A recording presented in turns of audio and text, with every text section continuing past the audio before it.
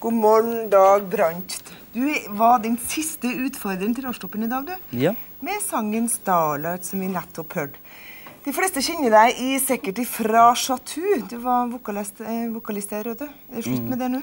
Nei, det er det ikke. Det, vi holder på å jobbe med, med vår neste LP nå, som kommer neste høst. Ja, Men nå har du kommet med ny plat. Ja, det Sol-LP. stemmer. Mm. Ja. Og den heter Den heter 'Tranquility'. Som betyr rolig og fredelig.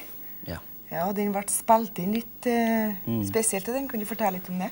ja. Det skjedde på en bondegård, da, faktisk, i England. Ja. Og ja, det var, det var veldig rolig atmosfære rundt hele innspillingen, og alt var så Vi tok alt med ro, da. Ja. Og jeg er veldig fornøyd med resultatet. ja. Dyr og greier utafor. Ja visst var det. Jeg ble veldig god kamerat med en hest, faktisk. Ja. Kåre. Ja. Kåre. Kua Kåre. ja.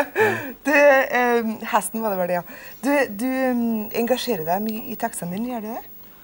Ja, jeg syns uh, tekstene betyr veldig mye. For uh, det er jo tross alt det som skal ut til folk. Det er det folk hører på. Og jeg tror det er viktig at folk skal kjenne seg igjen i tekstene. Ja. Hva skriver du om, da?